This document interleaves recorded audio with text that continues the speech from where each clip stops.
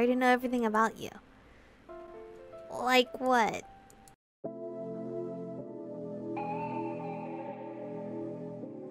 We're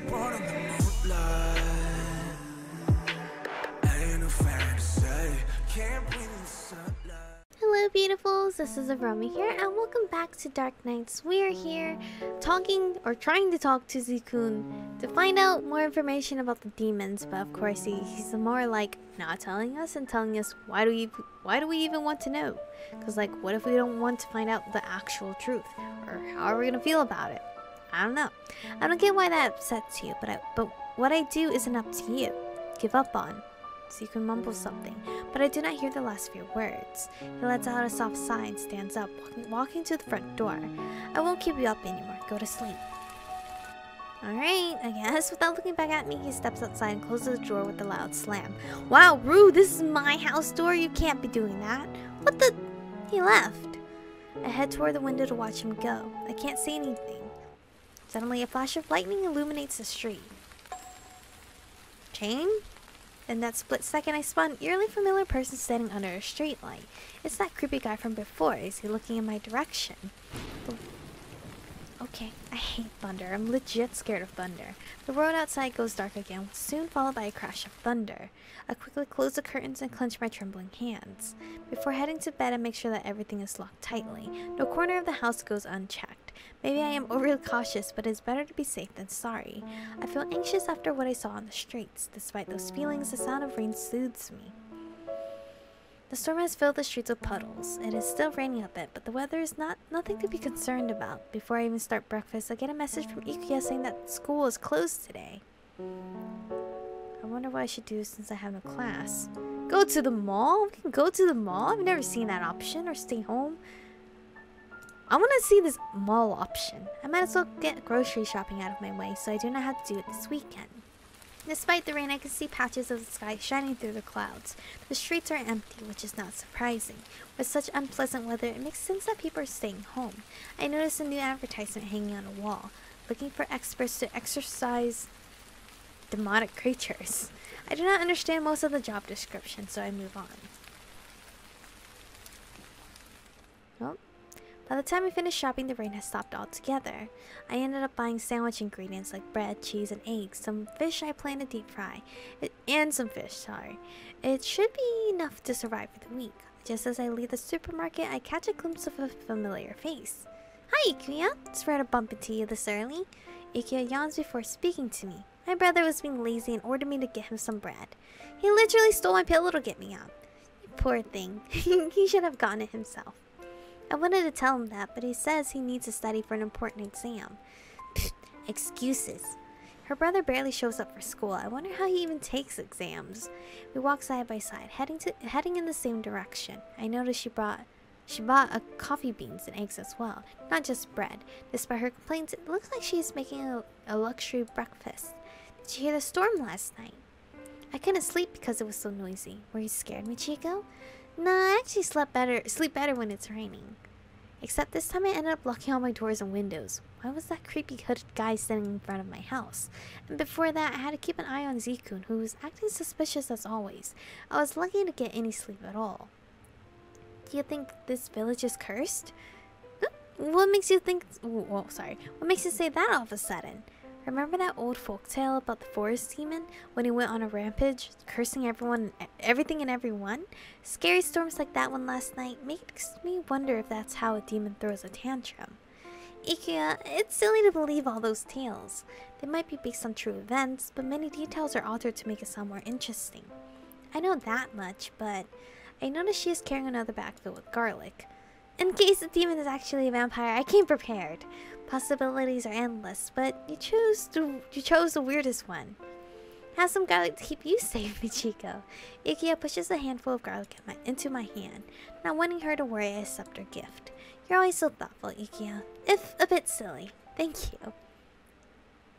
I guess that was cute. We got to see Ikuya. The students are more restless today. While walking through the halls, I catch a glimpse of a familiar face. Hi, Chain. A green haired guy walks by, his face is covered in a black gas mask. What is a person like that doing at my school? Even the students around me look at him with confused expressions. Is he actually a student or an uninvited guest? Wow, is that an elite class member? It's so rare to see them at school. He just glared at me. His eyes are so icy, it creeps me out. I noticed the cross emblem on his tie. His uniform is different from any other class, so he must be an elite. I heard they act however they want because they have their own special rules. Yeah, they don't get penalized for skipping class. Aside from Ikuya's brother, this guy is the first elite student I have seen at school. He does not give me the impression they are all as attractive and intelligent as rumors say. Hey, you're spacing out. Oh, Ryoji, do you know that gas mask guy? That green haired dude, if I remember correctly, his name is Chain. I think he works in the same department as my dad. He barely attends class and focuses more on work. Guess that's why you've never seen him before. Pfft, it's still unfair that these elite students get away with that. Sadly, we can't change the rules. I still find that chain guy strange. Say, Chico, have you seen any suspicious people lately? Well, this chain guy has been walking around my neighborhood quite often lately. I think he's observing me. To be honest, it's kind of creepy. He's like a stalker. Hmm, I see. Don't worry about it though. He isn't a bad guy. Chain isn't my only worry. I've also seen a strange person who wears traditional clothes and lives in the forest. Maybe he's one of the priests. I know there's a group of them who sometimes practice their rituals in the forest. Ah, right. Are you still thinking about the demon rumor? Nah, I'm skeptical. I'm skeptical. Skeptical about it. Rumors says rumors stay rumors. I need cold, hard proof to know if something is real or not. That's just like you. Let me know if you find something. I guess all the things I found isn't really important to him. Any clues will help a lot with the investigation. I'll do my best. I guess. After class, I go to the lockers and notice Chain standing near mine. Has he been waiting for me? The students passing by give him a, give him a wide, wide berth, not even daring to look directly at him. Well, he has an odd aura around him. I wouldn't stay around that guy for long either.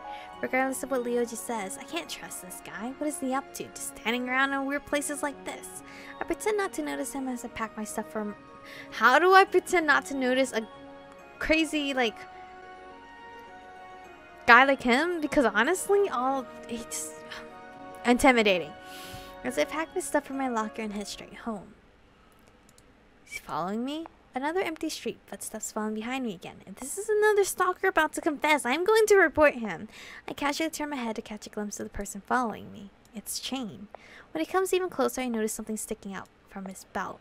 I cannot see it clearly, but it looks like a hilt of a knife or something similar. I do not remember seeing him with anything like that at school. Was he planning on ambushing me the whole time? Uh, no, no, Michiko, don't jump to conclusions. Chain's icy blue eyes are locked on me as he approaches. I can't handle another second of this. I don't know what he wants with me, but I'm not going to wait and find out. The moment I turn a corner and break his line of sight, I start running. After a few blocks, I stop behind the thick trunk of a tree to catch my breath. When I peek around it, he's not in sight anymore. He's behind me. It's always something like that. I hope I never see him again. Look how scary he looks. Very intimidating. I turn back and suddenly someone is standing in front of me. Okay, maybe he's in front of me for some reason. He ran from me. Y why are you following me? I'm an investigator. I've been assigned as your private guard. Why were you holding your knife out at me? Huh? Wait, what? I thought you were planning to kill me. That weapon on your belt. Chain raises his eyebrow and looks down at where I pointed. This? It's my gun. I rarely point it at civilians. But why was it out? Why was it pointed? Thank goodness, I guess. I saw you a few days ago. Have you been watching me this whole time? Yes. Couldn't you have told me? You creeped me out. Back to being creepy. Still, I'm relieved to know we are on the same side. I guess Ryoji was right. Thanks for keeping an eye out for me, but don't get too close. Keep some distance, okay? I don't have good experiences with people walking behind me. As we walk further, he does as I ask. Even though I understand his motives now, it still feels weird. What would people even think if they saw us like this? Never mind. We should walk together. We're both students after all. I just start Chain to come closer, but he does not budge. We don't have to act like strangers anymore. My name is Michiko and I'm a second year. I already know everything about you. Like what? I'm Chain, elite class student. He dodged my question. Ugh. There are many things I want to ask him, but he does not look like a talkative one. Even so, I better give it a try instead of walking in silence. Um, about those that have gone missing, why are you wearing a gas mask? Why are you guarding me? To be honest, I think we're all wondering this question right here. Why are you wearing a gas mask all the time? Um, if it's a personal reason, you don't have to answer. The smell of death is everywhere. I am sick of it. How come I don't smell it? His words gives me goosebumps. I do not bother to ask about it any further. My impression of him is only bound to get worse. Shortly after we reach my place, Chain tells me to stay home as much as possible. that way it would be easier for him to keep an eye on me. He also tells me that he is guarding more people at the same time. As I am the only student under his wing, he has no choice but to follow me to school every day, or every every weekday. It feels like I'm a sheep while he's a shepherd. Honestly, I want to take part in the investigation too, but it does not look like Chain will give me a chance. Before going to bed, I take a look outside of my window. Chain has not moved from his spot the whole evening. It looks like he will be staying until the next morning. Poor guy, his job must be tough. Does he not sleep at all? Okay, the, the sudden music stop scared me. For the next few days, Chain follows me whenever I go out. It is annoying, but I soon get used to it. Hey, Michiko, I have something important to ask. Ikuya pulls me closer, glancing around in case someone might hear us. What is so urgent? Did you know you've got a new stalker? Huh? Who? That scary person over there. She looks over at Chain, who is standing further away from us. For some, reason, for, for some reason, he has been appearing at school lately. He's always standing outside our class. My gut feeling tells me he's stalking you. Maybe make it clear to him that you're not interested. No, he's not... Oh, okay. Before I can explain, Ikuya is already stepping towards Chain. This is a misunderstanding. I have a bad feeling about this. She clenches her fist as she walks, the picture of confidence until... She freezes and looks back at me like a frightened puppy. Immediately she runs back without finishing her, her objective. Michiko, he is scary. How do you even attract so many weird guys? Ask them, not me. Ikuya pounces at the ground and begins toying with her hair self-consciously. I cannot help but pet her head. Oh, Ikuya, it's okay. This guy is my private guard. His name is Chain, and he's both an elite class student and an investigator. The streets are dangerous, so he's been assigned to guard the people. He may not look like it, but he's a good guy. R really? Ryoji would know more about it. Either way, don't worry. Hmm. But even if Ryoji is okay with this creepy guy, I don't trust him. Class is about to start, but the teacher wants to announce something first. Oh god. More people dying? I'm not ready for this. His expression is unusually tense. Dear students, I don't know how much you've kept up with the news, but I'd like to stress something important. The streets are dangerous at night, so be sure to stay home for your own safety. What's going on? There's a serial killer in our village. Five deaths have been reported and many people are still missing. No, wait! Who in this village would do such a thing? Maybe it's one of the outsiders? Be prepared. Tonight they will get in, they will get into your room and... Boy! Everyone, please stay calm. Nothing has been confirmed about the identity of the killer, so don't jump to any unnecessary conclusions. The class becomes restless after this announcement. Everyone exchanges their thoughts. Say, Ryoji, do you know what's truly going on? I knew you would ask me first. The police have found a few clues, but so far they lead nowhere. This is one of the toughest investigations we've ever dealt with. Only the perpetrator and victims know the truth. The rest of us can only guess what's on their mind. Our crew has never dealt with a per perpetrator like this. It might take a while to solve the case. Is there any solid evidence? My dad suspects there might be multiple people pulling the strings. Multiple people? We should be more careful.